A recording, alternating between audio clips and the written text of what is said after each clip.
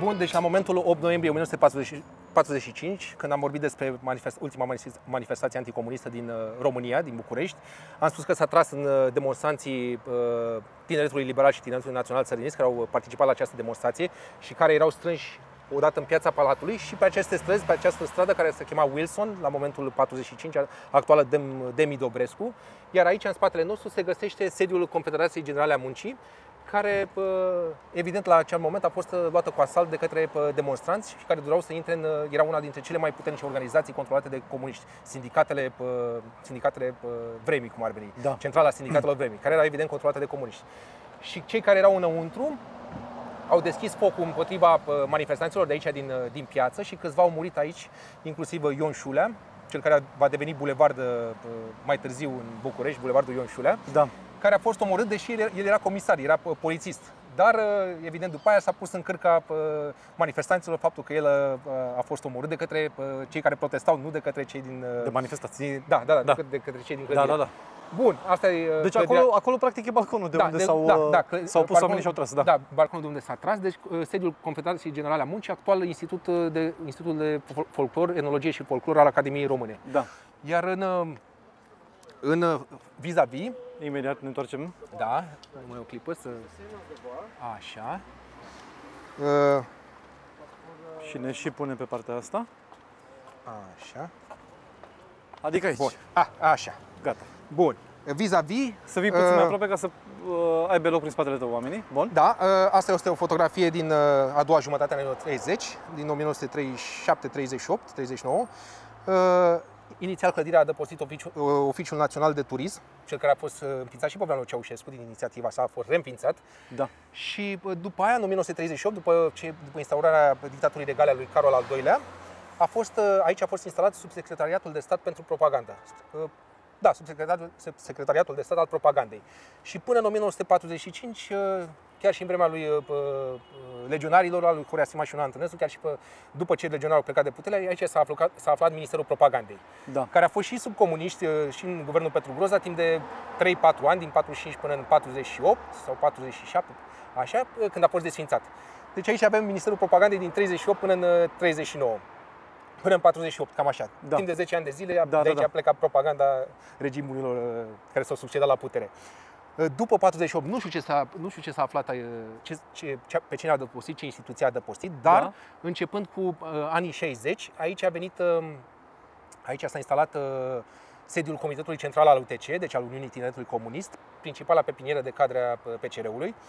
Și putem spune că la momentul, uh, în anii 80, aici, uh, în, timp, în perioada în care Nicu Ceaușescu a fost prim secretar la CC al UTC, Uh, el și avea principalul birou în, în această clădire. Da. Așa că tatăl lui în anii 80, până în 87, când a plecat la, ca prim secretar la Sibiu, Nicu Ceaușescu era uh, în spate, iar tatăl său, Nicolae Ceaușescu, în clădirea din față, da. în clădirea CC-ului. Deci uh, avem o relație tată-fiu și pe linia Foarte administrativă. Da. da, da, da, da. Bun, acum o să intrăm pe această stradă din spatele uh, CC-ului. Da. Uh, de ce o luăm pe aici prin spate? Pentru că uh, Comitetul Central uh, s-a instalat aici uh, mai vorbesc? Da, da, da, da? continuăm, continuăm. Uh, deci Comitetul Central s-a instalat în această, în Palatul MEI, abia în anul 1958.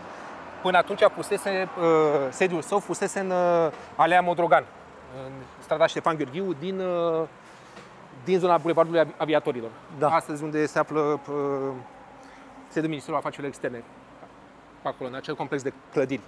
Și abia în 1958 uh, s-a luat decizia ca uh, Vine o mașină ca... mare, să ne dăm într-o parte? Da.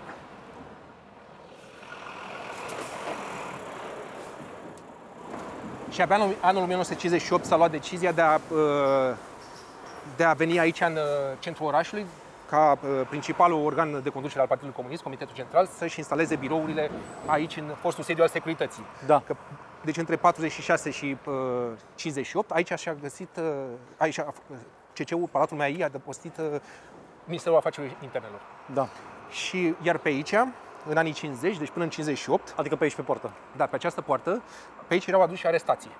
Aha. Uh, cei care erau uh, arestați politic, pe motive politice, de către Direcția Anchete Penale a Securității, erau uh, aduși pe această poartă După aia erau dați jos uh, în stânga, în stânga, uh, cum intrai pe poartă, în stânga, pentru că și erau introduși la subsol prin două lifturi, pentru că la subsol se află uh, celulele, uh, celulele, culoarele arestului.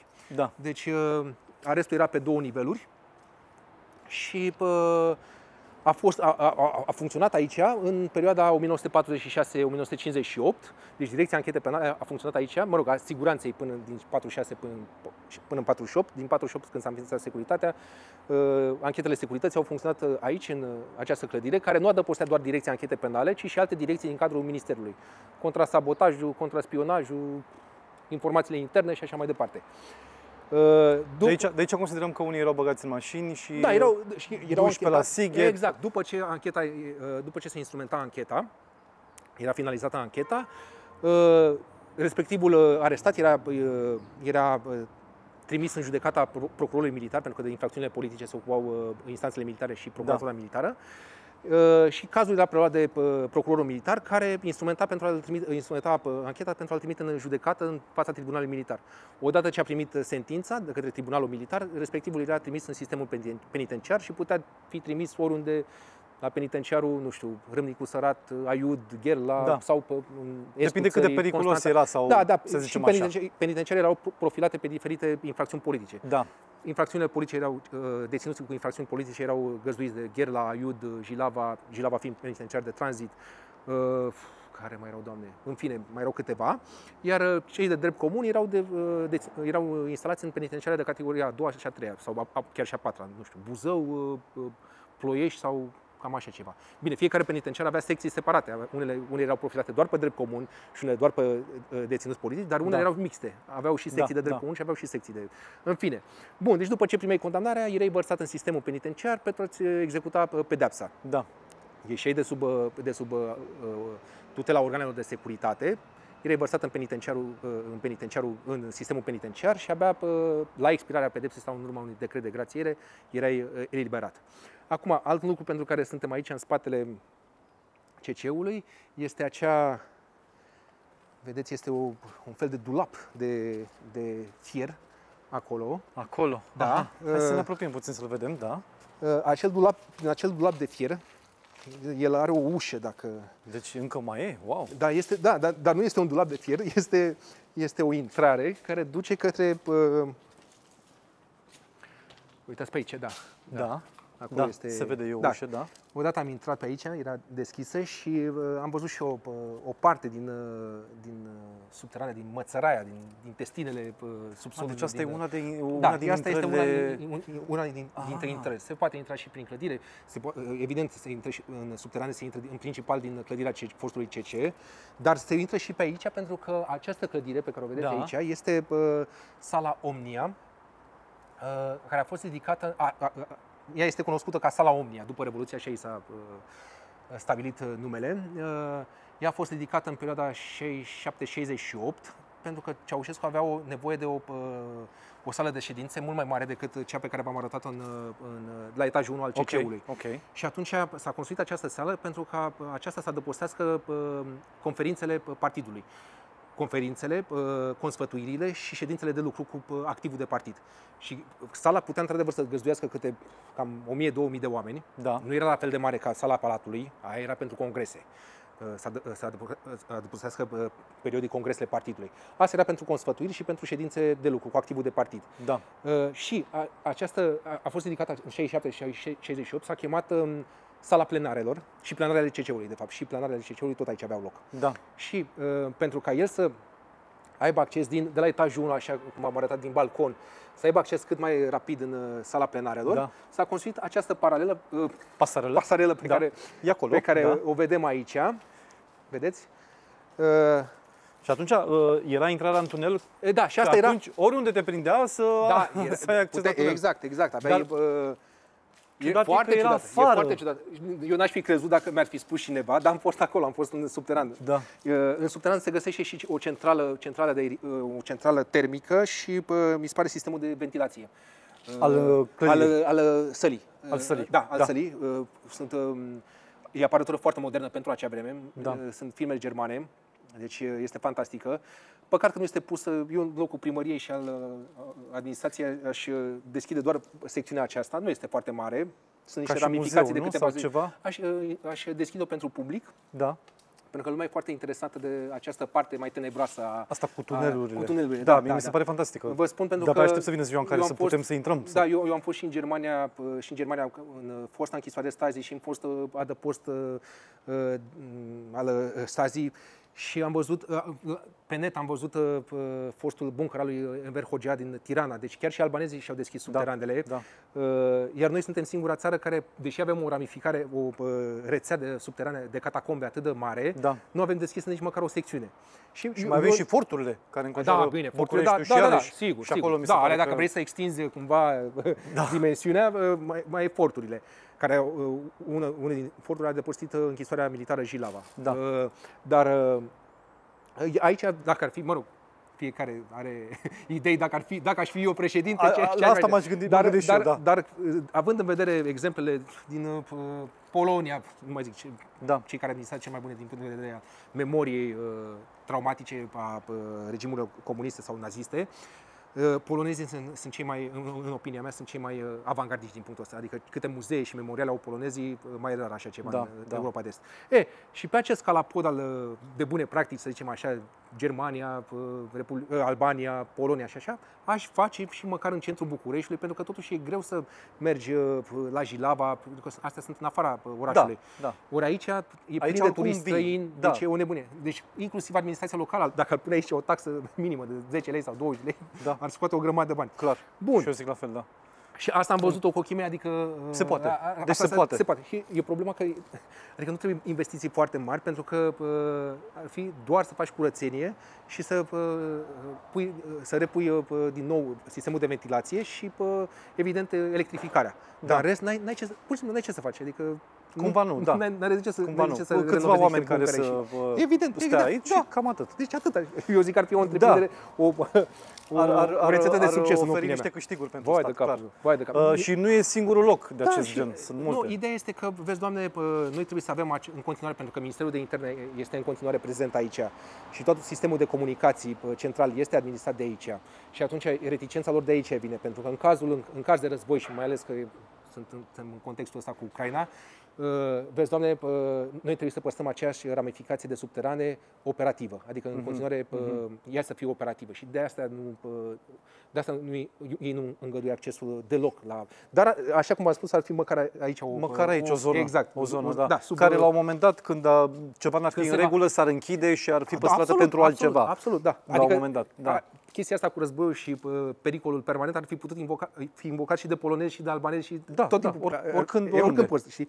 Asta nu poate să meargă la desfășit. Da. Așa și uh, Ok. vă spuneam de această pasarelă, uitați-o, Da, asta este. da. Și, așa cum vă spuneam, leagă sala plenarelor de uh, cabinetul 1. Ea mergea, se ducea direct în, uh, în, uh, în balconul și în, la, la biroul uh, bi- cabinetul 1 și cabinetul 2, cum uh, erau Ok, uh, ok. denumite. Da, se vede, se vede Da, cum se se duce duce continuă până acolo. Da. Da. Mhm. Iar acum, din păcate, din păcate, toată, toată sala se află uh, în subordinea Centrului Național al Dansului. Centrul Național al Dansului, din păcate, nu are resurse uh, financiare, pentru că totuși este o instituție uh, cu resurse limitate Da. și ei sunt niște oameni inimoși și acolo sunt fantastici, fac, au niște proiecte incredibil de, de tare, adică din punct de vedere cultural, fantastic. Dar ei nu pot, uh, nu pot administra, ei nu pot veni cu, uh, cu un uh, input uh, din acesta financiar care, să vă dați seama, să, uh, aici trebuie cel puțin 10-15 milioane de euro ca să uh, refaci toată, să- și să, recons- să reconsolidezi, nu doar să spoiești uh, Da. clădirea, ci trebuie și, și, și uh, uh, a, intrat în, uh, în sistemul de, sigur, de uh, rezistență al, al clădirii. Și atunci Centrul Național al Dansului nu are această putere, dar în special ar trebui să intervină, nu știu, autoritățile locale, ori primărie de sector, ori Ministerul Culturii, dacă ar- Ministerul Culturii care nu are niciodată bani, nu știu, Și nu primăria numai municipului- această clădire, că sunt multe da, de genul da, acesta. dar da. asta este și, și, aici asta, în centru, bineînțeles. din păcate, pe care o văd toți turiștii străini care vin și pă, vizitează perimetrul ăsta, dau de nas în nas cu niște clădiri Da. care sunt vai de capul. Aici vedeți gloanțe de la Revoluție de diferite calibre, A, uite pentru da. că s-a tras aici foarte și aici s-a tras foarte puternic. Este unul din puține locuri care mai păstrează uh, rănile de la Revoluție. de obicei au fost... uh, Ăsta e un atu, un lucru meritos al faptului că nu s-a intervenit asupra cl- clădirii deocamdată. Da, așa este. Că dacă și acolo s-ar- la fel, în jos? Da, da, da, da, da. Și aici, asta nu, dar uitați, uh, uitați și acolo, acolo, diferite calibre. Da. Adică astea par de Kalashnikov, era astea mai mari, așa par de 14,5, cred că, de mitraliere de pe taburi. Astea sunt prea mari pentru a fi de, de Kalashnikov, de da. AKM. Da, și la fel și pe pasarela mai sunt câteva. Iar pe lângă camera aceea de 360 de grade se păstrează în continuare acel bec care bag mâna în foc, că e, e de dinainte de 89. da. E bine că s-a păstrat acolo. Bun, și acum uh, o să luăm pe cealaltă latură a uh, CC-ului. Da. Așa cum vă spuneam aici, în perioada 46-48 uh, a fost uh, sediul Ministerului Afacerilor Interne cu direcția anchete penale și o să vă arăt uh, și geamurile care dădeau la primul palier al uh, arestului de la Demisol. Da. Și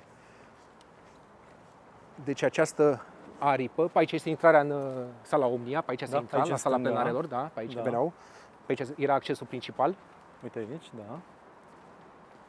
Așa cum vă spuneam, e în părăsire, în semi-abandon. Da. Aici se găsea, vis-a-vis, se găsea uh, Institutul de Istoria Partidului, cu titulatura Institutul de Studii Social-Politice și Istorice al, uh, de pe lângă Comitetul Central, care avea câteva sute de oameni angajați, cercetători. Și toată această clădire îi aparținea. Aici se afla, se afla și arhiva uh, Comitetului Central, arhiva, uh, arhiva Partidului, Marea Arhiva Da, Partidului. da, da. Și uh, Institutul de Istoria Partidului, care era condus de Ion Popescu Puțuri, un fost uh, ilegalist al partidului. Și la acel moment strada se chema strada Ministerului. Astăzi se cheamă Cristian Popișteanu, care este un binecunoscut istoric, cel care a fondat uh, revista Magazin Istoric în 1968-69, parcă. Și mai pe jos, dacă puteți filma, Da. Uh, Este unul din puține locuri din București, așa cum se, uh, am văzut și în fața CC, fostului Da, CC. da. Piatră Și- și aici în cubică, față, da, da. da, și Mhm. aici. uh, Se mai găsește piatră cubică doar în puține locuri din București, pentru Așa că este, da. știți că există uh, reclam, uh, reclamațiile șoferilor care m, pe în momentul în care plouă în București uh, patinează în- Aluneci foarte aluneci tare. foarte, Da. foarte nu știu, nu știu, Nu cât știam era că au făcut și normal. uh, reclamații. Da, da, da. Și pe, de exemplu, bulevardul uh, Prezan era, era uh, pavat cu piatră cubică, la fel ca, ca asta. Da. Și acolo s-a luat această decizie pentru că au fost mai multe accidente și, din păcate, au fost și, și Într-adevăr, aluneci destul de bine. aluneci, da, da, Dar, de exemplu, a fost scoasă pavajul, piatra cubică de pe strada Edgar- Edgar Chine. Ori acolo nu trebuie să mergi, nu poți să mergi cu viteză în spatele Da. universității. N-ai nici... Și a fost scoasă și de acolo. Ăla era un loc unde se mai filmau, se turnau filme acolo pentru că mai rămăsese pavajul. Da. Și palatul universității fiind foarte vechi, cu piatra cubică, avea un aer așa de vintage, Exact, de epocă. da. Și atunci aici a rămas singurul loc în, din, Blu- din centrul București, mai mare, care uh, încă se păstrează această, această piatră cubică de râu. Este, Da. La vremea ei a fost fantastică. Acum ar necesita niște reparări, dar nu se mai face așa ceva, că eu cred că așteaptă să, o- să o scoată și pe asta. La un moment dat, ușor, da. ușor, din păcate. Mai avem o zonă mică și în spatele Ateneului. Și iar Și în se, spatele ve- Ateneului, se da, vede da, da, foarte da, frumos da, acolo. a, Dar e exact. mai mică zona, într-adevăr, Da, strada e mai îngustă. În, în Praga e plin de piatră cubică, adică Da, măcar în centru vechi. Da, e- în centrul pe asta trebuie și în zon- la fel și pe, pe în centrul uh, istoric și pe acolo din Exact, unele locuri a, centrul scos, istoric. uh, a fost scoasă. Dar piatra asta cubică. diferă un pic.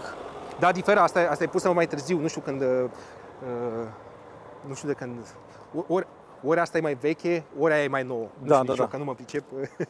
Dar a, vreau să vă arăt asta, vreau să vă Așa. arăt aici, Da. ferestre de la demisol ale arestului.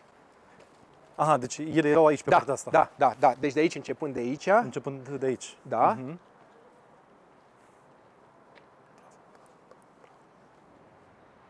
da, acesta este corpul D. Vedeți? Uh, aripa D, corpul D. Da, Așa. scrie acolo. Mhm. Iar uh, de la Demis pare, a, a, iar acolo e CEU. Astea erau reperele celor uh, uh, de dinainte de 89, întotdeauna când spuneai uh, la CC, care corp? Care Și corp? Mhm. D-ul, CEU, AU, AU mi se pare era uh, intrarea principală. Da. Așa, iar aici sunt, uh, cum vă spuneam, la Demisol sunt uh, uh, fostele... Ce o mai uh, fi acum aici? Acum e depozit. Uh, Depozit. A, depozit. Da, aici se află Ministerul de Interne. Acolo se, se află Ministerul de Interne. Adică acolo la intrarea da, asta este din o- stânga. una din direcțiile Ministerului de Interne. Da, Uh, în aripa centrală, pe față, tot Ministerul de Interne este. Da. Pe cealaltă aripă este Ministerul Muncii, iar de aici, bucata asta este Da. a uh, Ministerul Săn- Sănătății. Deci se află trei ministere în, uh, Da. în această clădire. da, da, da. Iar uh, Iar asta, depozitul de aici este al uh, celor de la interne, de la MEI. Asta. Și depozitez dulapuri, fișeturi, tot felul de, Da. de chestii. Și mai jos mai sunt încă două niveluri, din câte știu eu, de, uh, Eu sunt. ale arestului, da, încă două niveluri. Ar merita la un moment dat și un muzeu. Da, dar niciodată nu o să iasă instituții. La Nemț s-a făcut chestia asta. Uitați, aici este, se mai vede un pic din ce, vedeți? Aha, Litera uite, C. da, uite, uite. Ăla a fost Da, deu și ăsta e ceu. uite aici. Ăla, da, da, da. Și, din păcate, în, Ger- în Germania, când, s-au, când au fost mișcările din toamna anului 1989, cetățenii au intrat în instituțiile represive de forța ale statului, Da. le-au ocupat și de acolo n-au mai ieșit până n-au, n-au primit asigurări că vor fi pă, redate pă, comunității și pentru a fi spații ale memoriei. Ah, și așa, așa wow. s-au făcut uh, acolo pă, pă, și- Muzeul Stazii și așa mai departe, multe, multe lucruri. Da. Ori la noi, uh, după dece- în momentul decembrie 89, revoluționarii au ocupat o serie de instituții, dar după aia au fost uh, lă- uh, dispersați sub uh, motivul avem de, de, nevoie de liniște, să ne instalăm și evident că doar s-a schimbat denumirea din miliție în poliție, din... uh, Cu aceiași oameni. E, cam așa, da. Da. da, da, Și atunci niciodată nicio instituție din România centrală n-a vrut să cedeze, mă refer la cele represive, n-a vrut să cedeze de bunăvoie pe, uh, clăd- o- una din clădiri sau unde clădiri simbolice Da, pentru ca da. pe, să fie destinată unei administrării memoriei și Da, uh, da. destinată unui muzeu. Și de asta noi, ave- în Noi nu București avem. nu avem niciun muzeu. al- Avem tot felul de iniț- inițiative particulare, Exact. mai micuțe, foarte bine, ini- inițiative inimoase, dar uh, ceva, avem chiar și un muzeu al ororilor comunismului, uh, care se află în muzeu, în Ministerul Culturii, dar doar cu titulatura. Că nu i-au afectat un, uh, prin lege nu i-au afectat un sediu corespunzător. Și atunci ai doar Minister- Muzeul Ororilor Comunismului, cu așa o titulatură prețioasă, Așa. dar care nu are spații de expoziție, are doar birourile de a- administrație. Ah, wow. Deci un muzeu cu vreo 20 de oameni uh, angajați. Și atât. Și atât, și atât. Și ne-am făcut, uh, hai să ne facem că avem și un muzeu. Da. O formă fără fond. Cam așa. Păcat. Da.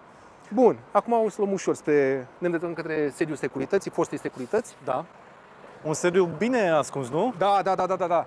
Iar uh, uh, aici este, în toate blocurile astea s-a Vezi la tras mașină, te rog, ai grijă.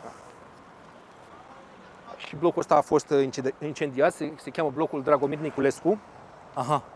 Dragomir Niculescu pentru că în perioada interbelică el a fost ridicat în 37 blocul ăsta, în 1937, un bloc superb uh, cu apartamente foarte, foarte spațioase. Mă rog, multe, din, multe dintre ele erau destinate securității, erau aparțineau securității, pentru că era zonă uh, de grad zero aici în, uh, în uh, Piața Republicii. Da. Dar um, um, blocul ridicat în 1937, la fel aici există niște subterane sub acest uh, bloc. De pildă acolo, vedeți unde este această ușă. Ușa de la farmacie? Da, da, da uh, asta nu e ușa de la farmacie. A, nu e ușa de la Nu, nu, nu, farmacie. Nu. nu. Hai să Uh, vedem. Această ușă, în anii 2000, pe aici, în 2005-2006, încă găzduia, sau 2007, da, 2005-2007, pe aici se intra în uh, clubul Quando, se chema. Vă spun că am fost acolo, am Ok. fost și eu de vreo două, trei ori. E, clubul ăsta Quando uh, și avea, uh, era găzduit la subsol, la minus 7, minus 8, cam așa. Se intra pe niște scări și era un subsol foarte mare. Deci clubul se afla pur și simplu într-un, uh, într-un fel de bunker. Ok. Da, da, da. A, deci Și- ăsta ar fi fost Ăsta- bunkerul ăsta era blocului. unul- da, iar tot, tot, toată ace- această pă, pă, rețea de blocuri, deci Da, care pe linie, toată care- linia asta. Da, pentru că mai departe vedeți se află un, este un restaurant, o reclamă la re- restaurantul Cavalerilor, sau nu știu cum îi spune. Da, e bă, undeva acolo. jos, în- E, acolo la partea de fel. jos, așa. Dacă intrați acolo, ăla e deschis, asta, Da, asta nu mai, da. aici nu știu ce, văd că nu înțeleg și acolo. Da. Uh, Dar acolo puteți să intrați să vedeți cât de larg este. Acolo chiar era adăpostul antiaerian în cazul în timpul războiului, cel de, Da. de, la, de la război mondial. Cei care locuiau în aceste blocuri se adăposteau în adăpost antiaerian care era uh, care astăzi este uh, acest Deci, restaurant. practic, te duci în restaurant și practic ești da, în e pur și bunkerul... simplu, intri, da, e Da. foarte jos și foarte mare. Sunt, mesele sunt acolo, adică Da, da. E foarte interesant locul ăla. Da, și, ai, și aici asta vă spuneam că la, foarte spațios clubul uh, la acea vreme, din ce mi-aduc eu aminte de atunci. Și la fel, tot așa, pe catacombe, pe, pe o zonă plină de, pe, de subsoluri și de subterane Da. incredibilă. Tot, deci toată această rețea de blocuri Da. aliniată. Bloc, blocul Dragomir Niculescu. Se vede că este un bloc foarte solid. Și uh, pentru că l-au ridicat în a doua jumătate a anilor- anilor 30, când uh, se simțeau uh, uh, uh, câinii războiului venind, atunci au început ușor, ușor în București să se construiască și adăposturi uh, antiaeriene. Dar la Da. foarte puține blocuri. Ori această, aceste blocuri au beneficiat de aceste, uh, adăp- prin- din, dintre primele adăposturi antiaeriene din uh, București construite. Da. Bun, și acum o să le o luăm pe aici. Prin... Hai.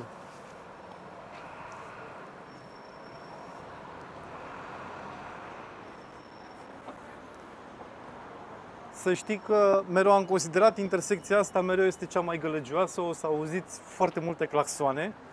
Am observat în multe materiale că e zona zero de claxoane. Hai să Aha. vedem dacă, dacă se aude și acum. Noi uh, unde ne oprim? Da, trebuie să traversăm. Traversăm, ok. Da. Uh, Aici ne aflăm, uh, ne aflăm în fosta piața teatru. Nu știu dacă să mai vorbesc. Da, uh, da, da, continuăm, da. Ne aflăm, ne, am, ne aflăm în uh, fosta piață a teatrului, s-a chemat, uh, la momentul 13 decembrie 1918, după încheierea războiului, deci la câteva zile de la, la două, nici două săptămâni de la înfăptuirea actului de la 1 decembrie, de la Unire.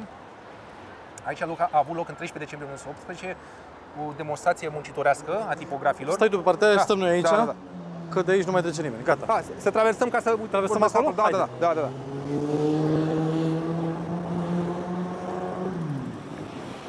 Uh, Deci la momentul uh, 13 decembrie 1918, aici s-a aflat, uh, aici se afla piața teatrului. Chiar aici. Da, chiar aici, în Da. zona unde se află acest hotel, un hotel din ziua de astăzi. Și uh, aici a, loc, a avut loc această demonstrație, mare demonstrație a muncitorilor, care uh, demonstrau pentru uh, pâine, pentru reducerea zilei de, de lucru la 8 ore. Uh, evident, fiind după război, era foarte o penurie mare de alimente în București și îmbut- pentru îmbunătățirea condițiilor de lucru. Autoritățile române s-au speriat, au crezut că este uh, o manifestație care vrea să întroneze regimul bolșevic ca în uh, uh, Rusia, când uh, în 1917 a avut Revoluția Bolșevică, deci eram la un an de la Revoluția Bolșevică din Da. Rusia. Regele Ferdinand s-a speriat, a crezut că acesta este scânteia pentru uh, Revoluția Bolșevică, deși, deși n-a avut nicio legătură, pur și simplu erau foarte multe soții de uh, muncitori care nu mai aveau, nu mai aveau ce mânca, erau o penurie foarte mare de alimente în București. Da, da. Și atunci armata care era, uh, se pregătea pentru această manifestație, își instalase cuburi de mitralieră și ostași, și cordoanele de ostași în zonă. La un moment dat a deschis focul și au rezultat în jur de uh, 50-80 de morți uh, Wow. în București. Deci Foarte era- mulți. Și de atunci a rămas în uh, memoria locului măcelul din piața Teatrului Național, Ok. la 13 decembrie 1918. E mai puțin cunoscut în ziua de astăzi, pentru că se consideră că dacă vorbești despre reprimarea unei demonstrații muncitorești, faci propagandă de stânga, bolșevică și așa mai departe. da. Dar oamenii ăia au fost asasinați aici pentru niște revendicări cât se poate de legitime, de foame, cum ar veni. Da. Asta e și. Din păcate, exista o comuniști au exploatat uh, acest eveniment și pusese o placă comemorativă aici în zonă. Aha, cumva care în a fost, favoarea lor, uh, clar. de- da, și a fost dezafectată de, la, după Revoluție, pentru că s-a considerat că e o, uh, un simbol comunist, deși oamenii, Partidul Comunist s-a înființat abia în 1921 și s-a, și-a constituit principalele rețele. Noi eram la Adică 1918. după câțiva ani. După câțiva ani, Da. da. N-aveau legătură. Erau uh, agitatori bolșevici și în București, dar erau de mică amploare. Evident Da. că la orice manifestație uh, se strâng tot felul de elemente dubioase și tot felul de indivizi, dar marea, grosul manifestație n-a avut nicio legătură cu Partidul Comunist, de, de, nici nu exista, bolșevicii Da. de la acea vreme. Români. Da, da. Și atunci a fost, imediat după Revoluție, a fost dezafectată acea placă comemorativă care amintea de, de moartea unor oameni nevinovați. că Majoritatea dintre ei, niciunul dintre morți nu era membru al Partidului Comunist. Asta- Da. Erau muncitori bolșevici. sau oameni de rând. exact. Da. Erau un lider de sindicat, nu mai știu, și oameni simpli. Adică Da. Au căzut victimele unei uh, represiuni, pentru că regimul s-a speriat că este scânteia Revoluției bolșevice și în Da, da, da. da, iar aici în față avem a, și vedeți acest, acest fronton, uh, de ce este așa, de ce tot așa un, un hibrid? Imită ceva. Da, a, a, amintește de uh, Teatrul Național, Da. uh, clădirea Teatrului Național, care s-a aflat aici până la 23 august 1944, 24 august, pardon, 44, când a fost bombardată de uh, aviația germană, Da. a fost grav afectată și timp de Au stat un, mulți, mulți un ani. deceniu a stat, cel Da. puțin un deceniu a stat, uh, ba, chiar, Așa. cred că și mai mult. A, ba nu, a fost mai mult, că, Mai mult? mai mult, că și după Revoluție era trasa Anda, Anda da, Exact. da, a fost o gaură aici, Da. pur și simplu. Uh, un loc viran, în centrul Bucureștiului, culmea, pentru că după câțiva ani, după 1944, după vara lui 44, a fost uh, uh, rămășițele de la bombardament au fost îndepărtate Da. și a rămas acea gaură aici, Da, acea da. groapă. Și uh, în amintirea uh, clădirii Teatrului Național, uh, cei care au ridicat hotelul Novotel au zis să facă acest, acest fronton uh, care amintește de fațada Da, uh, și clădirii chiar Teatrului seamănă. Național. Și seamănă, da, da, da, Da. pentru că este realizată conform planurilor inițiale. Exact, exact, Deci exact. mie mi se pare o, asta o inițiativă lăudabilă, măcar, Este. măcar atât. Mai mult de atât, să o refaci de la zero, e Da. greu să cred. Da, și în față avem um, clădirea Palatului Telefoanelor, Da, care a fost ridicată tocmai chiar în anii crizei economice, în perioada 1929-33. da. 30 Și care 33, era cam cea mai mare de aici. Da, era, uh, am să vă arăt o fotografie, era printre cele mai înalte clădiri din București. Uh, Palatul Telefoanelor era, uitați, deci în 1936 Asta existau... e, e o pagină din ziar, nu? Da, este o pagină de ziar, da. da este din 36 și asta, Da. acestea sunt cele mai mari clădiri din București la momentul 1936. Ok. În anul 1936. Și avem așa. Da, Avem odată clădirea telefoanelor, da, Palatul Telefonelor, acesta, Da. da, vedeți în spate. da, Avem uh, Wilson Palace, Palatul, Palatul Wilson, da. da, care este pe Bulevardul Maghe- Nicolae Bălcescu. Și avem hotelul Carlton, de la intersecția uh, străzii Ion Câmpinanu cu, uh, uh, cu uh, Bulevardul Nicolae Bălcescu. Acesta a căzut la uh, cu tremur din 1940, din noiembrie 1940, deci Da. acesta nu, nu se mai află în picioare. Da. Și astfel că în momentul de față mai avem doar cele două clădiri, Cele două. care Mhm. în anul 1936 erau cele mai înalte, uh, mă rog, cele, cele mai înalte clădiri, cele Da. trei clădiri înalte. Palatul Telefonelor, Wilson Palace, iar acesta la cutremurul din 77, vedeți aici, ăsta era cel mai înalt punct uh, din, uh, din cel mai uh, înalt punct din București, uh, Așa, pe clădirea da. uh, Palatului Wilson. În timpul războiului aici s-a amenajat un, uh, o baterie antiaeriană, un, uh, uh, un tun antiaerian de fapt, nu o baterie, Da. pardon, care uh, a- evident avea nevo- a avut nevoie de o placă de uh, susținere, de o placă de oțel foarte bună pentru a atenua uh, vibrațiile. Da, E, și uh, după război, după ce s-a încheiat războiul, uh, placa din păcate nu a fost uh, ră- uh, mutată de acolo ok.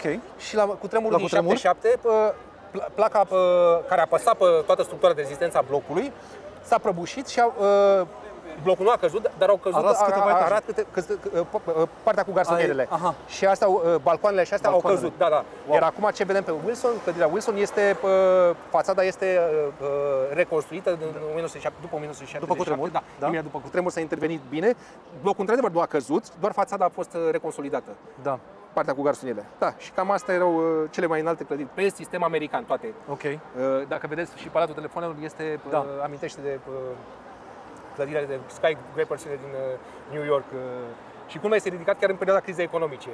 Pentru că în timp de criză economică statul trebuie să facă investiții în, uh, foarte mari în uh, construcții și în uh, investiții foarte mari strategice, Da. Ara- a- așa cum a făcut Roosevelt după uh, marea criză, pentru ca oamenii să fie ocupați și să nu fie, să nu fie marea masă a oamenilor Să nu muncitori să nu simtă- fie șomaj. Exact. Ah, și să nu fie șomaj, da, da. și atunci Da, faci să dai de lucrări, muncă. investești foarte mult în economie și Ceaușescu a crezut că dacă face, ca, ca să scape de uh, o parte a crizei din anii 80, uh, uh, dacă uh, face mari investiții, canalul Dunăre Marea Neagră, metrou, într-adevăr are o logică foarte bună, dar el a tăiat de pe peste tot și de la industrie ușoară și de Da, și asta da, a s-a- plecat s-a cam dus tot. mult mai adânc, Mult mai adânc, uh, da, în austeritate, da, da. Bun, și acum o luăm Să ușor continuăm. spre sediul securității. Da. Ia uite ce vibrant este orașul astăzi. Da, da, da. E E și vremea frumoasă. foarte multe grupuri de turiști Da. și ceea mai ales ce de duminică. Mă bucură Astăzi- foarte astăzi- mult. Da, azi e zi de sâmbătă, duminica e E foarte și mai bine. mult. Da, da, da, Da. da, da, da. Aici este Hotel Continental. Cel din stânga Uh, pe lângă care am trecut. Din acel balcon a, venit, a vorbit uh, regele Mihai cu uh, nepotul său, cu prințul Nicolae, în 1992, când a venit aici la de Paști, mi se pare. În 92? Erau, da, 92. 92, da. Uh, există și pe YouTube, mi se pare, uh, momentul meetingului din fața. Pentru că aici a fost cazat uh, regele la uh, Da. Hotel Continental Da. și uh, a fost o mare manifestație de simpatie a uh, grupurilor, a uh, monarhiștilor din București. Și atunci regele a ieșit în balcon să-i salute împreună cu principele Nicolae, care la acel moment cred că avea 4 sau 5 ani, nu mai știu, era foarte da. mic. Da, da, da. Și de acolo, din, uh, din balcon, a vorbit mulțimii, iar bineînțeles, această, această clădire apartenea avea o braserie și în perioada anilor 30-40 aici uh, veneau să mănânce, aici veneau să mănânce foarte mulți lideri uh, politici ai vremii. Iuliu Maniu, chiar și Gabriel Țepelea vorbește în memoriile sale de oameni care vorbeau, veneau să uh, ia micul dejun sau cina la această braserie din, de la partelul uh, hotelului Continental. Da, da. Bun, suntem pe calea Victoriei. În spatele nostru se află celebra cafenea Capșa, care și în zilele noastre se, se cheamă la fel. Uh, În perioada interbelică și, mă rog, și în Belle Epoque, uh, aici uh, venea floarea cea vestită a politicii, uh, reprezentanți- reprezentanții politicii democrate burgheze a României, Da. um, scriitorii, uh, lumea boemă, protipendada, să zicem, a, uh, din epocă. Aici veneau miniștri, veneau schiitori, poeți. Uh, aici se făceau sau se desfăceau guverne, urzeli, intrigi, da. intrigăraie multă. Da. Și de ce spun, de ce m-am pus asupra acestui loc? Pentru că este locul cred, că, cel mai des uh, menționat în toate memoriile, jurnalele și amintirile uh, politicienilor sau ale scriitorilor uh, din România. Da. Adică braseria Capșa, uh, restaurantul Capșa este cel mai uh, des menționat din toate stabilimentele și localurile din București. Despre Capșa, uh, întotdeauna, parcă în clipa în care citești tu niște amintiri sau memorii, trebuie să fie ceva și de Capșa. Da. O bârfă, o... Și atunci am introdus-o și noi. Da, da. Iar, Trebuie să o introducem. Iar la această uh, răscruce, Da. între Calea Victoriei, crossover-ul ăsta cu strada Constantin Mile, Da. aici această stradă Constantin Mile dă în, uh, Ia să vii puțin, dă în, că avem uh, ceva în capăt acolo. în capăt este Palatul Universul. Uh, Palatul Universului, așa cum îl vedem noi de aici. Uh, După ce se termină această clădire, începe fostul cartier al presei. Uh, Aici se găseau cele mai importante redacții ale vremii, începând cu începutul secolului uh, 20. Da. Aici avem, uh, aici pe stânga era Palatul Adevărul, era uh, redacția ziarului Adevărul și dimineața, Trustul Da. Adevărul dimineața, iar în față, unde e Palatul Universul, care a fost ridicat în 1930, uh, acela găzduia uh, tipografia și administrația ziarului Universul, care era ziar de dreapta, Adevărul și dimineața erau de stânga, ziare democrate, Ok. iar, uh, iar uh, uh, Universul era ziar de dreapta, la fel ca și Curentul, erau cele, e- a, despre asta era uh, frontul presei, cele două ziare de data Adevărul și Dimineața și cele două ziare de data Curentul și uh, Universul. Da. Palatul Universul era aici, în cartierul presei, deci pe strada Brezoianu, în capăt, Da. iar Palatul Curentul o să mergem pentru că a adăpostit Palatul Curentul și a, în, a fost sediul securității în, uh, după ce, evident, nu și mai, uh, după ce Curentul, uh, Panfil și Icaru nu uh, a plecat în, uh, în exil în Elveția. Iar așa, așa cum vă spuneam, acesta este cartierul presei. Așa era cunoscut în perioada interbelică, nu numai uh, ziarul, ziarele Adevărul dimineața și Universul și aveau sediu aici, ci și alte ziare mai, redacții mai mici. Pentru că în dreapta acolo a fost și uh, casa lui Deci până, Constantin. până în palat. Da, până în dreapta, palat, da? pe dreapta, unde Da. se vede un loc uh, viran. Da. Uh, Acolo s-a, s-a aflat uh, locuința domiciliului Constantin Mile, da- care din păcate a fost demolată, casa lui Constantin Mile, care a fost Da. demolată, celebrul ziarist Constantin Mile, care a fost demolată în, uh, acum vreo 10 ani și din păcate de, de atunci este loc viran, nu știu cui aparține și deci cum s-a hotărât distrugerea unei case de patrimoniu Da. și pentru uh, Iată că se poate, era din cel mai, păcate. reprezent, cel mai important reprezentant al presei românești, uh, mi se pare mie, în opinia mea, Constantin Mile este cel mai important ziarist din istoria presei, adică pentru istoria presei, casa lui Mile era cea mai, cea mai importantă. Era un Și- simbol. Da. Da, un simbol, exact, exact, exact. Iar aici, în uh, partea Da? dreaptă, avem uh, Văd că se și reabilitează undeva pe Da, da, colțul da, de nu stânga. se mai termină. O reabilitare care durează de ani de zile, de vreo 10 ani uh, și nu se mai termină. Avem uh, Cercul Militar Național, Da. care ține de Ministerul Apărării Naționale și care a fost ridicat de Nicolae Filipescu în 1913, dacă mi-aduc bine aminte, 1910-1913. În timpul războiului, când Germania a ocupat, trupele puterilor centrale au ocupat uh, Bucureștiul, aici a fost sediul, uh, chiar și sediul arestului. Uh, Ok. Clădirea a servit la subsol pentru că sunt uh, și săli, câteva săli uh, de astăzi adă- adăpostesc tot felul de evenimente. Se fac baluri, evenimente, da. cununii, Mhm. da?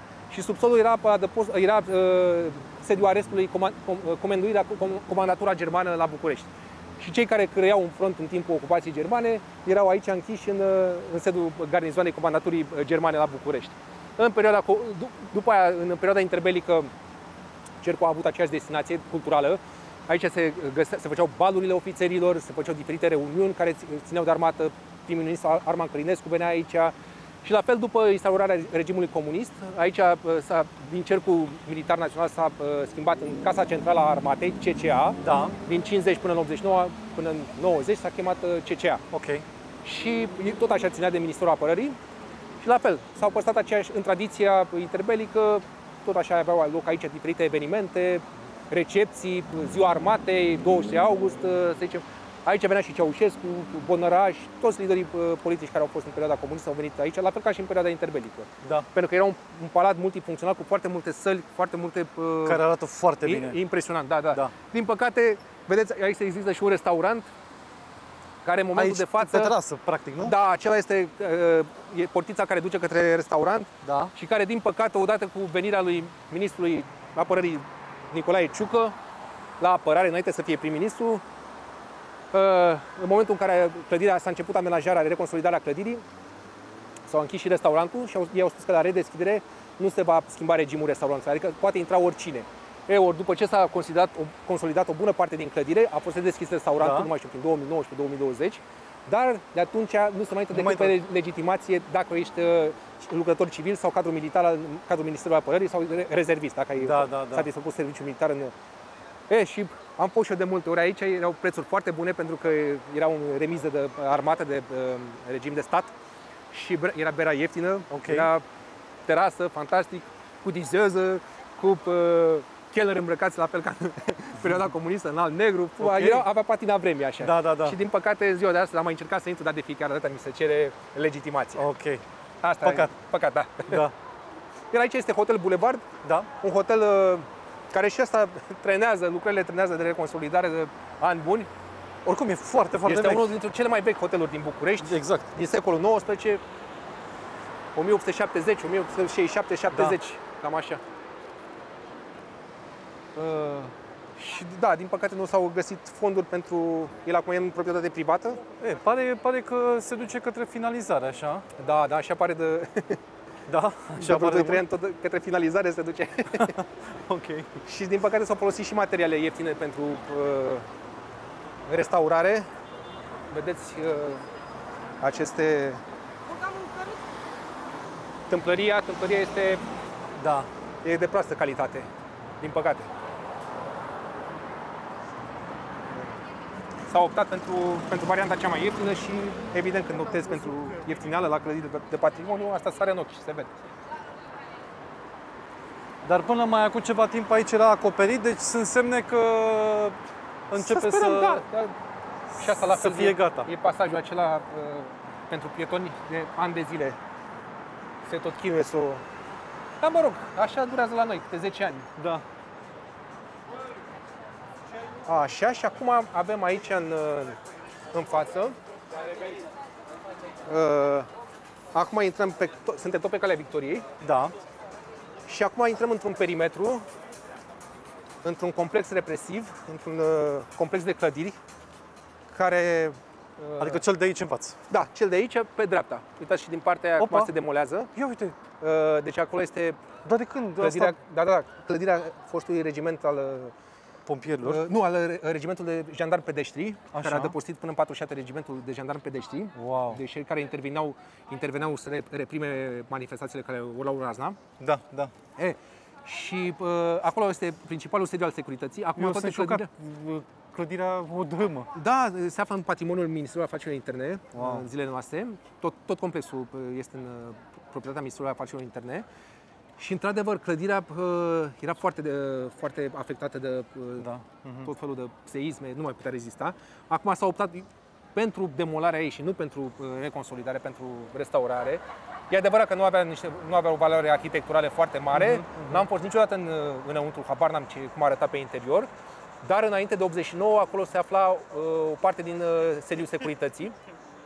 O să mergem și o să vă arăt și uh, pe partea cealaltă, unde se vede mai bine. Cea de pe pentru calea că- Victoriei? da, da, Da. da. Aici este strada Eforie, pe aici s-au tr- turnat și câteva cadre din uh, filmele lui Sergiu Nicolaescu, cred că la ultimul cartuș sau cam așa ceva.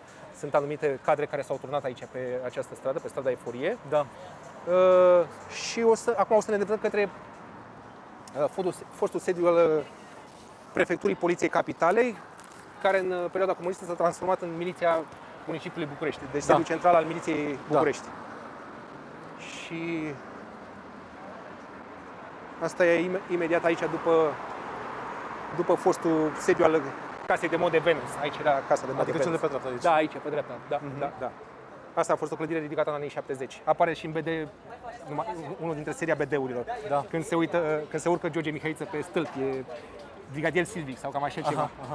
Și când se urcă pe stâlp să salveze o mâță. Aha. Și este exact în spatele acestei foste uh, case de modă. Cred, ba nu, că e și acum casa de modă Venus și acum într-una Da. are sediu aici. Da, dar e foarte mică, restrânsă. Înainte era, de 89 era foarte, foarte mare. Bun. Și acum ne aflăm la, uh, în fața sediului prefecturii Poliției Capitalei, Da. o clădire care a fost ridicată în timp de 2 ani de zile, între 1933 Mm. și 35. Rapid. Da, foarte rapid. În 36 deja era uh, dată în folosință. Uh, Acum să vorbesc mai încet că Nu cred că mai sunt Așa. microfoane pe aici. Da, e, în momentul de față o vedeți uh, acoperită. A- În această situație se arată de din 2011 sau 2012. Da. De ce v-am spus când a fost clădită? Pentru că ea a fost clădită în 2 ani de zile, Da. iar uh, reconsolidarea ei durează de mai bine de 10 ani. Deci asta se vrea, reconsolidare. Da, se, se dorește reconsolidare, dar așa arată de, de mai bine de 10 ani, Ok. de prin 2011-2012. Cam așa. Și nu sunt stare, deci, deși, N-am a fost, făcut de, deși a fost ridicată în 2 ani, Da. o să O reconsolideze în, reconsolidare. Nici măcar în 10 ani. Exact, exact. Da. Și uh, pe vremea aceea, în anii 30, între 1930 și 39 și 40, și 39, da, prefect al Poliției Capitalei a fost un uh, semnificativ, o, o proeminentă figură a Camarei Regale, uh, generalul Gabriel Marinescu, Da. cel care l-a ajutat pe Carol al II-lea să revină pe tron în, uh, în București, în sensul că uh, trupele sale, trupe, el era un comandant de regiment prin Cotroceni și a promis regiului că uh, îl va susține în clipa în care va veni în București pentru, reinstaura, pentru Da. restaurație. Și pe, pe Carol al II-lea nu l-a uitat și în clipa în care a dobândit puterea, a venit în București, l-a pus pe el prefect al Poliției Capitale, deci șeful Poliției din Capitală. Da. E, și pă, două dintre realizările lui cele mai mari din, uh, în fruntea Poliției din- din București este, sunt uh, clădirea, uh, cazarma gardienilor publici, care se afla în spatele guvernului, tot așa o clădire ridicată în 2 ani de zile, între 1931 și 33, Da. o clădire foarte mare pentru că uh, și-a dorit să, ca și-a dorit ca uh, acești gardieni publici, corpul gardienilor publici, să beneficieze și ei de, un, uh, de, un, uh, de o logistică corespunzătoare, să aibă uh, sediul lor, să aibă locul lor, uniformele lor, uh, locul unde să se spele, să... O treabă cazarmă, da. Și aia a fost demolată după, nu mai știu când, a, după, după 1900, anii 70 sau nu, nu mai știu, cazarma gardienilor publici, dar există imagini de la rebeliunea legionară, pentru că acolo s-au baricadat legionarii în timpul rebeliunii legionare în cazarma Da. gardienilor publici. Bun. Și a doua clădire care a fost ridicată de prefectul Poliției Capitalei, de generalul Marinescu, a fost această uh, clădire a prefecturii Poliției Capitalei, Da. o clădire fantastică, ridicată A- pe planuri franceze, pe Arăta, modelul francez. arăta cumva într-un Da, fel, da, da, da, da. Da. Și pă, pentru că și noi, tot sistemul polițienesc era organizat după uh, model francez. Prefecturile de, din Franța vin uh, ideea Da. asta de noțiunea de pro- prefectura poliției. Bun. Și pă, după venirea comuniștilor la putere în anii 50, aici s-a transformat din uh, poliția uh, București, din poliția București, s-a transformat în uh, miliția capitalei. Și aici au avut, au avut și sinuci- multe sinucideri loc, chiar și în, și în vremea lui Carol al II-lea, când, uh, când uh, a dispus reprimarea legionarilor Ok. și în timpul legionarilor, când a fost rebeliunea legionarilor, oameni care au fost arestați din motive politice, adversarii politici, primii adversari, adversarii politici, unde erau dus adversarii politici? La șederul poliției București. Da. Și în timpul anchetelor, evident, exista această, această practică să fie anchetat cu geamul deschis. Era o chestie de presiune și mulți nu rezistau la presiune Da. și săreau pe geam, dar geamurile erau intenționat uh, lăsate Da. deschise. Practic a încetat abia pe vremea comuniștilor. De aici s-a aruncat în cap și pe Iusin Georgescu, un tânăr UTC, s-a închetat în 42. În fine, dar uh, în vremea comuniștilor tot așa s-a continuat această practică, această tradiție, între ghilimele, și abia după ce au, uh, după ce uh, doi din, sau trei dintre arestați au, s-au aruncat pe fațadă, aici prin, uh, prin față și lumea a văzut uh, uh, întregul spectacol Da. tragic. Abia atunci s-a luat uh, inițiativa că uh, această metodă trebuie să înceteze și au uh, pus grilaje la, uh, a- se- La geamul. la geamul la birourile de anchetă ale Da. da. Direcției Economice și Direcției Judiciare. De fapt, la judiciar, că cei de la judiciare au cele mai dure Mhm, metode de da. anchetă. Și, bun, și uh, la momentul Revoluției, la fel, aici era sediul uh, miliției uh, municipiului București. Aici au fost aduși foarte mulți arestați dintre cei care au protestat în 21 decembrie, 21 20 decembrie. Era și foarte aproape. Da, da, da, exact, imediat. Și toată pe platou din spatele prefecturii poliției, din, clădirea, din spatele clădirii care se află în spatele nostru, au fost, uh, pentru că nu mai aresturile erau pline, are- ale- aresturile care se află la subsol, la fel, și au, mulți dintre ei au stat pe platou prefecturii și de acolo au fost preluați de camioanele uh, închisorii Direcției Generale a Penitenciarelor și duși la uh, închisoarea Jilava. Da.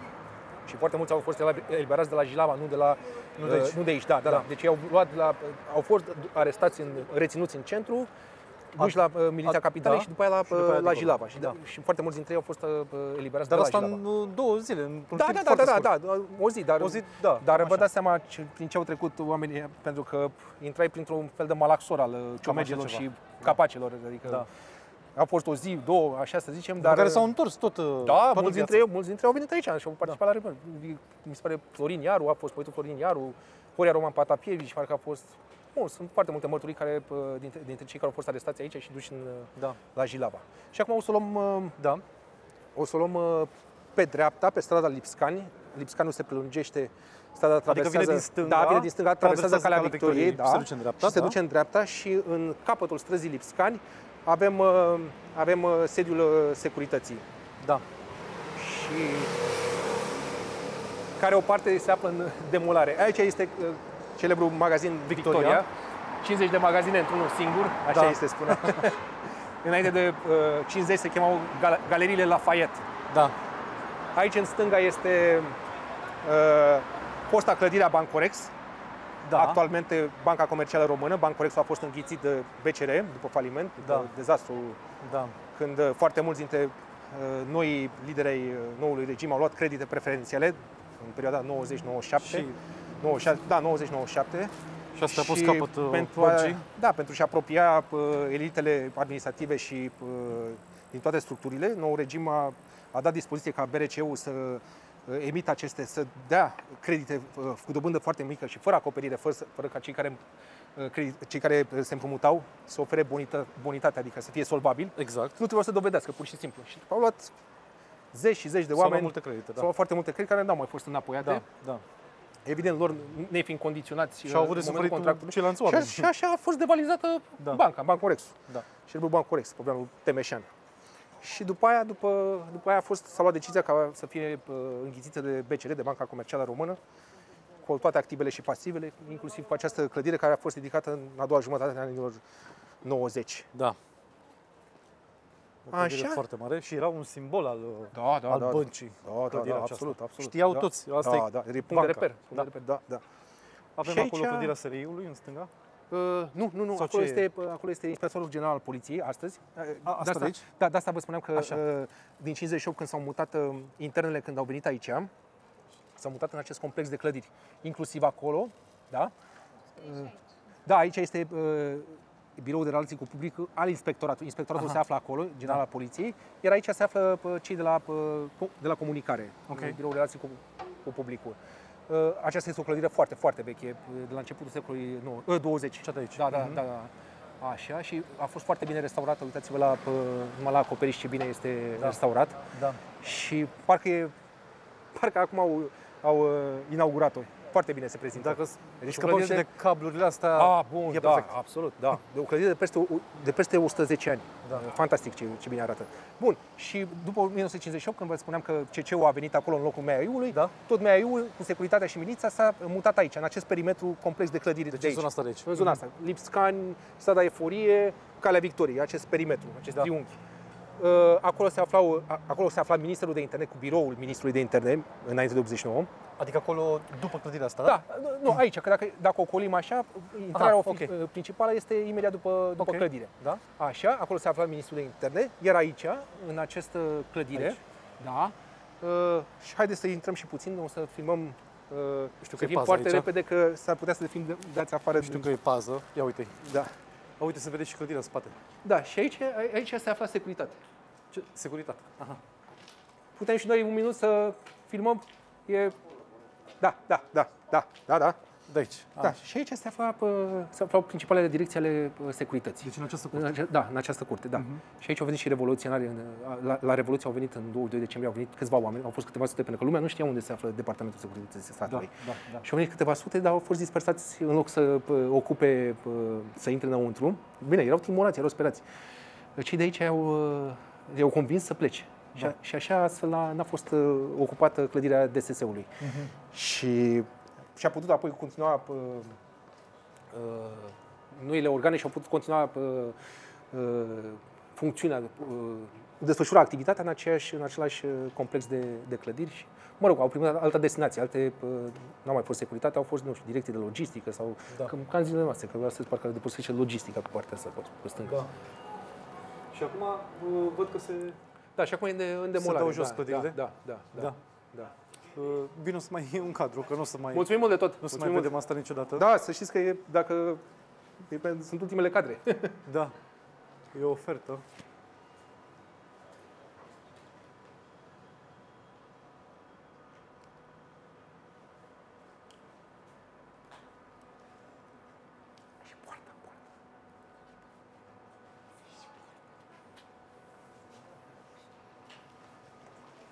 poarta sau ce? Uh-huh. Uh-huh. Accesul cum se făcea prin poarta asta de aici. Aha, Și că poartă de închisoare. o poartă Da, da, da, foarte că de asta- mare. exact. Ah, ok. Ca să ai uh, vedere un pic generală. ok. Bun. Bun, și acum vedem a, pe altă uh, fațada a sediului securității. Deci asta este, erau uh, uh, intrarea uh, principală, accesul principal în sediu. Da. Da?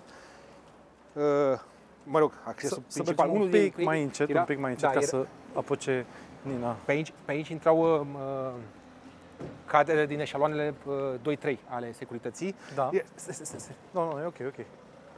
Așa. Iar oficialii, șefii Departamentului Securității Așa. Statului, intrau pe aici, Pe aici, prin prin față, față. da. Mhm. De, ce, de ce pe aici? Pentru că, uh, așa cum o să vă arăt, uh, mai devreme vă spuneam de Pam- Pamfil Șeicaru, care a, uh, era re- redactor șef al uh, cotidianului Curentul Da. și care era și un, un politic în, uh, în, în paralel, adică era un fel de Dan Voiculescu, Ok. cum a fost uh, și patron de televiziune, și senator, și, uh, pat, și uh, așa, să stăm acolo. Așa. Și Pamfil și Icaru, uh, ziarul l-a înființat, curentul l-a înființat prin 27, cam așa, dacă mi-aduc bine aminte, dar prin anii, la jumătatea anilor 30, ia hotărârea să își facă și el un sediu, la fel cum își făcuse Stelian Popescu, Palatul Universul, un palat fantastic pentru vremea aia, Da. care adăposta și administrația și tipografia. Și uh, ia și el decizia de a uh, face la fel ceva de aceeași dimensiune, dar un pic mai performant. Și în 1936, uh, 37 se uh, inaugurează lucrările la construcția uh, Palatului Curentu, acesta, Da. care este mult mai, uh, uh, care a fost la vremea aceea uh, peste Palatul Universul, din toate punctele de vedere, a folosit la fel cele mai bune utilaje și cele mai bune uh, uh, aparate pentru uh, tipografie, pentru uh, linotip, uh, cum se chema, în fine, sunt tot felul de uh, componente ale acestei bresle a tipografilor, uh, ale ap- aparatura, ap- ap- aparatura folosită de ei. La, la, la uh, demisol se afla tipografia, Da. iar el când venea, avea, dacă nu mă înșel, aici avea biroul, la Da. etajul 1, intra pe o, sca, pe o scară monumentală, așa, din marmură, și se oprea pe aici, la etajul 1, unde avea uh, biroul. Și aici a funcționat uh, Palatul Curentu, cred că am și o fotografie, două din... uh, Da, ah, perfect, da, da, da, da, da, da. Așa, asta să vă arăt. Acesta este biroul lui Pamfil Șeicaru după inaugurare. Da. Așa. Mhm. Și a- aceasta este scara principală, imediat după uh, poartă, poarta de acces. Adică asta unde... Aici, chiar aici, imediat uh, când intri în... uh, A, se, După- Da, se da, da. intră, de, Da, da, da. se trece de poartă Da, și da, după se aia duce- se exact, ajunge în pe- zona pe asta. această scară. Mhm, ok. Bine, acum e total prăfuit, adică nu se mai găsesc Da. da. plăcile de marmură. Nu. Așa, aceasta este o... Imediat, imediat. Uh, Fotografie realizată, da, imediat după inaugurare, în 1938. Da. Da, așa arăta la inaugurare. Bun. Aceasta este o fotografie din 1957, parcă, da, 57, Da. când uh, aici a, a funcționat uh, Uniunea Ziariștilor din România, din RPR, pentru Da. că, așa cum vă spuneam, abia în 58 vine securitatea aici. Da. Da, era aceasta găzduit, uh, a fost sediul ziariștilor, să zicem. Uh. Ai- Aici a fost și sediul scântei, imediat după război, uh, în 44, în septembrie, aici s-a instalat, aici a fost sediul uh, ziarului Scânteia, deci oficiosul Partidului Comunist. Mhm. Și a funcționat timp de câțiva ani până s-a făcut uh, combinatul poligrafic uh, Casa Scânteii și Da. tot, toată uh, piața Scânteii, Casa Scânteii. După ce a funcționat aici, uh, uh, ziarul Scânteia, s-a, mu- și-a mutat birourile în uh, Casa Scânteia, Da. în Casa Scântei în uh, 1900, nu, cred că în anii 50, dar nu mai știu anul când. Bun. Și, uh, bun, după ce uh, Pamfil Șeicaru fuge în, uh, 1900 în vara lui 44, văzând apropierea uh, sovieticilor uh, uh, de București, Da. chiar dacă frontul a fost- a fost spart abia la 20 august 1944, frontul era în acalmie, începând de la început, de la începutul anului 44, frontul s-a stabilizat la un moment dat, în primăvara lui 44, dacă mi-aduc bine aminte, și din, pe tot timpul verii lui 44 a fost o acalmie, abia pe 20 august este spart frontul. E, și Pamfil Șeicaru și cu Stelian Popescu uh, pleacă în Elveția, fug din țară, bineînțeles, fug din țară, pleacă legal, evident așa, dar pleacă evident cu o seamă de valori, cu bunurile, tot ceea ce agonisiseră și lasă la administrarea, în administrarea uh, își lasă afacerile în administra- administra- să fie administrate de niște uh, apropiați. Uh, Da. Și evident, când uh, românii, uh, când, românii, când au venit uh, sovieticii în București, uh, au ocupat principalele instituții și aici, stau, și aici, de exemplu, s-au instalat birourile uh, ziar, ziarului Scânteia, cu Miron Constantinescu, dacă mi-aduc bine aminte, redactor șef, uh, uh, Corona, Sorina Burian, parcă, și nu mai știu, în fine, nu mai știu uh, exact cine făcea parte din redacția ziarului Scânteia. Bun, și în 58 aici, pă, începând cu anul 1958, aici se instalează pă, securitatea, iar aici intrau uh, șefii pă, uh, șefii din, care făceau parte din Consiliul de Coordonare al uh, DSS-ului, al Da. securității. Și așa avem uh, la momentul... Da, sigur, sigur, poftiți. Și la momentul 89 aici se afla uh, securitatea așa cum am spus. Cam, cam, asta, cam asta ar fi... Aceasta este povestea. Da, asta e, e povestea, da. Ok, foarte interesant. Pe ziua de... Îți mulțumim că ne-ai adus și Pentru ne-ai puțin, plimbat uh, pentru puțin. pe aceste urme ale istoriei și uh, cu mare plăcere ne- poate ne mai vedem și altă dată. Sigur, cu mare plăcere și eu. Îți mulțumim tare mult. Pentru puțin. Toate cele bune. Toate cele bune. La revedere!